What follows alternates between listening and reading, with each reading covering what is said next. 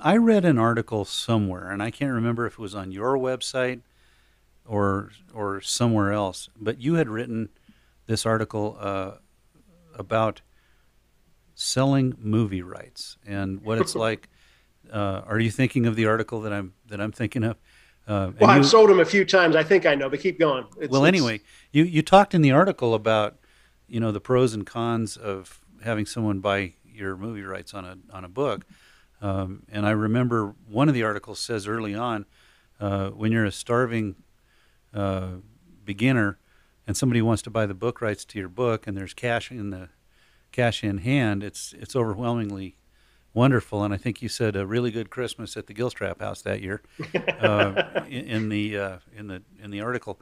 But then you went on to describe how there's some heartbreak involved in that uh, over time, and in insofar as either the book doesn't get made into the movie or you have absolutely zero creative control, things like that.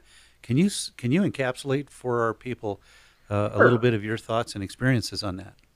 There are all kinds of different ways to come at a movie deal. Um, there's the first of all, there's the option, and then there's the purchase.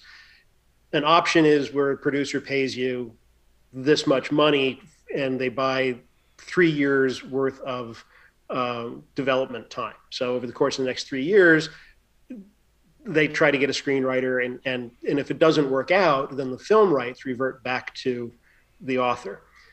And what they're buying are, is the right to turn your story into a film. That's that's what movie rights are all about.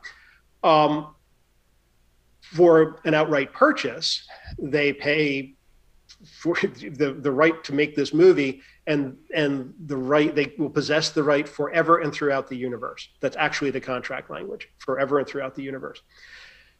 Now the outright purchase is typically a lot more money for the author than the option. Um, so if the movie is not made in the case of nathan's run at all costs my first two books they paid hollywood paid an astronomical sum of money for the movie rights.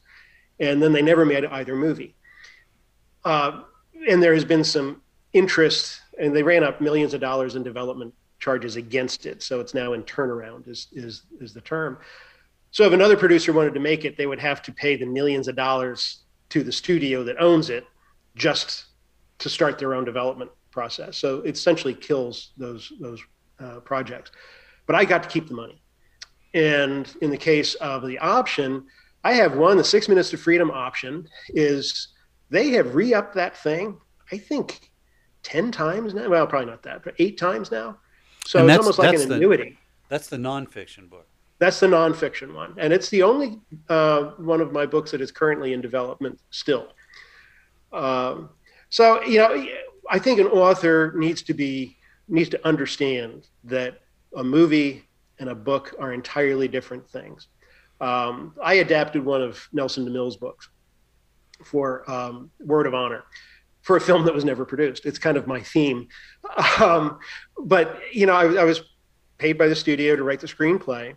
And the last person I wanted to talk to was Nelson. Nelson's a fine man. Um, but I didn't, I wasn't interested in what he thought the movie should look like because I already know what he thinks the book should look like and it was too long. It has to be cut back in order to get it into a, into a two hour movie.